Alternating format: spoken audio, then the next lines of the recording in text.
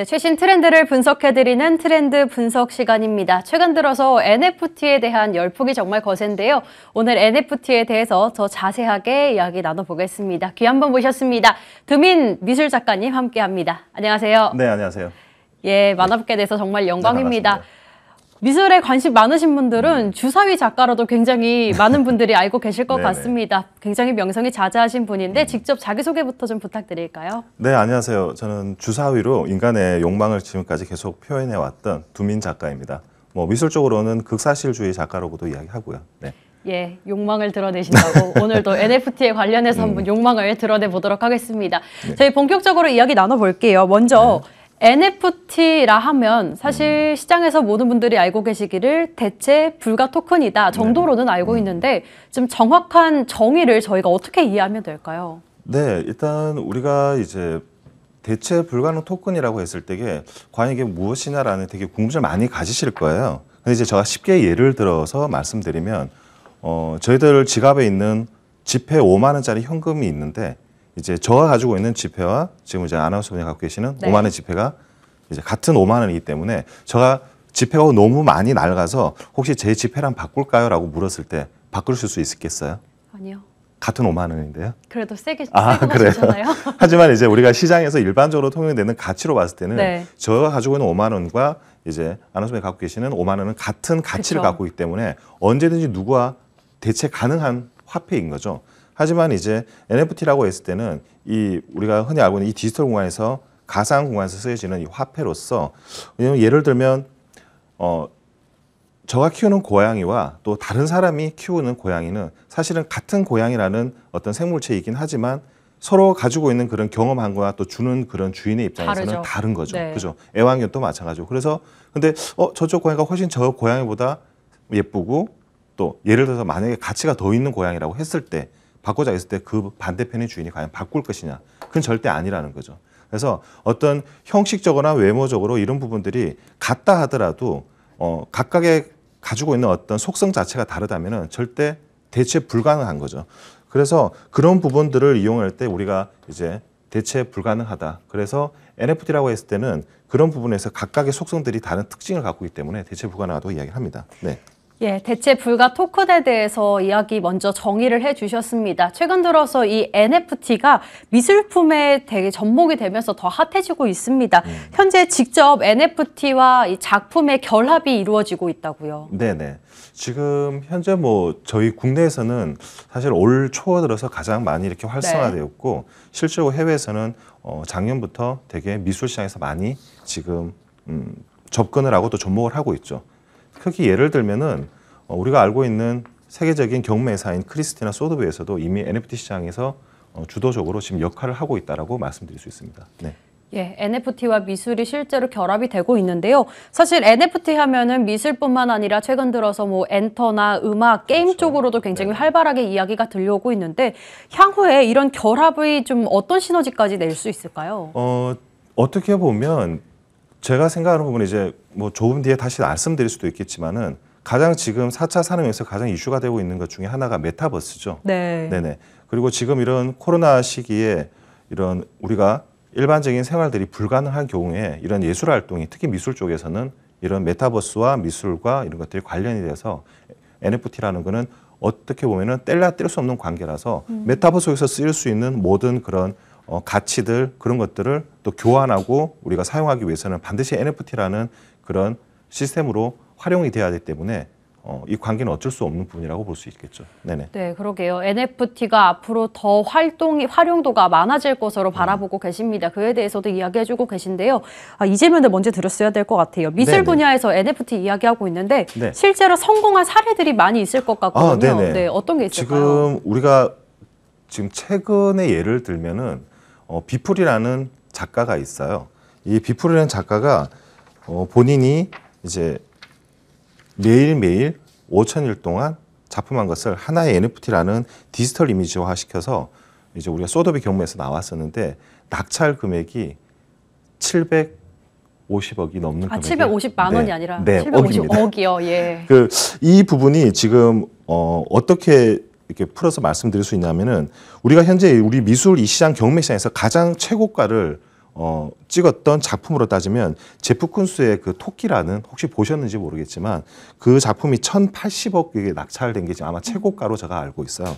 그리고 두 번째 낙찰된 금액은 뭐 작년에 한국에서 이제 전시를 했던 이제 데이비드 호크니의 작품. 네. 그 부- 현재 그- 화면으로 네네. 나가고 있죠. 네네 조금씩 나오고 있을 네. 데이비드 호크니 저 수영장 풍덩하고 있는 저 작품이 음. 제가 지금 기억하기로는 한 1,070억 정도에 와. 낙찰된 걸로 알고 있고 그 다음 세 번째 작품이 바로 비플의 작품 에브리데이라는 음. 저 작품이 700한 50억에서 60억 이제 이, 이 부분을 제가 정확하게 말씀드릴 수 없는 거는 코인 가격이라는 게 결국에는 NFT는 가상화폐로 거래가 되기 그렇죠. 때문에 그 부분에 대해서는 또 이제 조금씩 변동은 있겠죠. 그렇게 해서 현재 지금 미술 시장 경시장에서 레코드가 3위를 하고 있는 게 바로 NFT 작품인 비플의 작품입니다. 어, 네.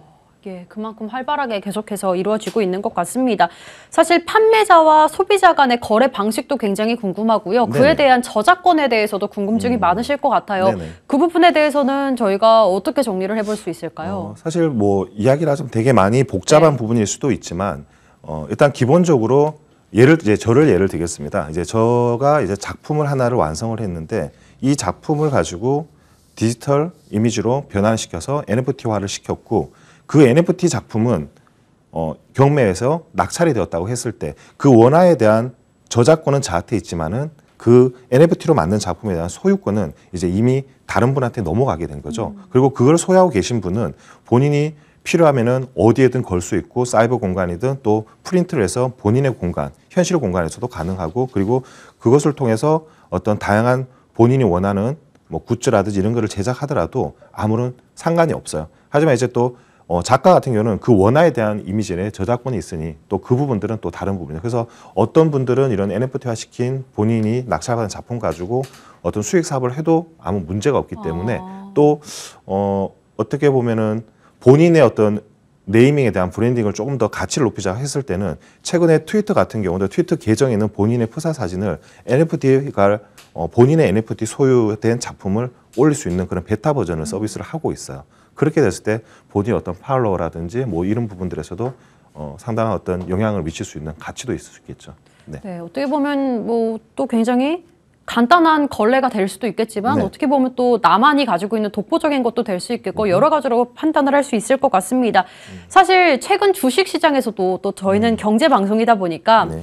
이 메타버스나 NFT 관련해서 주식 투자가 굉장히 활발히 이루어지고 있습니다. 관련주를 하면 일단 급등 나오고 또 오늘은 좀 쉬어가고 이런 흐름이 이어지고 있는데 이렇게 투자자들은 주식을 투자하는 데에는 상당히 쉽게 받아들이고 있는데요. 직접적으로 이제 NFT에 투자하고자 하는 사람들도 꽤 있을 거예요. 네네. 어떤 식으로 좀 투자를 저희가 접근해 볼 수 있을까요? 어, 일단 우리가 이제 NFT 시장 그러면은 디지털 아트라는 어떤 부분도 있, 다 보니 미술에 대한, 대한 부분들만 이렇게 생각하기 쉽지만 아마 최근에 뉴스나 주식 시장을 보시면 게임 관련된 그런 부분들이 되게 많은 어, 상승 곡선을 하는 걸 보셨을 수 있을 거예요. 그래서 결국 이제 NFT라는 것은 어, 우리가 게임 시장 안에서 거래되는 아이템이라든지 또 거래되어지는 현금 대신 사용할 수 있는 그런 어, 화폐로서 이 게임 회사에서 직접 발행한 코인을 사용하게 되기 때문에 또 그런 아이템들은 NFT화 시켜져 있고 그래서 아마 어, 주식 관련돼서는 그런 게임과 미술 요 부분에서 아마 가장 큰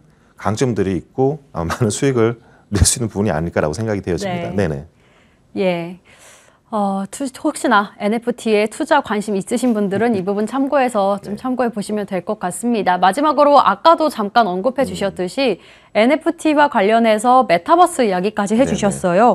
메타버스와 예술의 결합도 행- 굉장히 핫한 요즘인데 미술 시장도 메타버스에 좀 접근을 시도하고 있다고요. 네, 지금 아까 조금 전에 말씀드렸던 네. 그 우리 소더비라는 회사가 이제 세계적인 경매 회사죠. 어, 올해 6월 달에 디센트럴랜드라는 그런 가상 공간에 있는 메타버스 공간이 있어요. 그곳에 어, 실제 영국에 있는 소더비에 있는 갤러리와 똑같은 경매 회사 같은 곳을 가상 공간에 만들어 놓고 그리고 거기서 경매하는 작품을 홍보를 했던 적이 있어요.